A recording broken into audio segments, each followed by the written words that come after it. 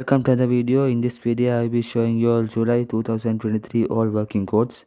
So these codes are not new codes but are still working in July 2023. You can redeem them if you haven't redeemed it. So to redeem the codes, you can tap on the settings button on the right side below and there's enter code. Let's redeem the codes. Our first code is 15 million visits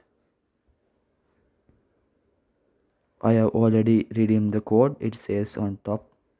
You can try it out too if you haven't. 26k likes.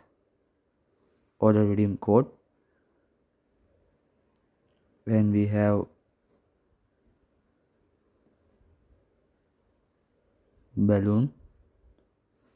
Already claimed the code. And there's another code. Let's try it out. Not sure. It's still working in july 2023 it's 22k likes.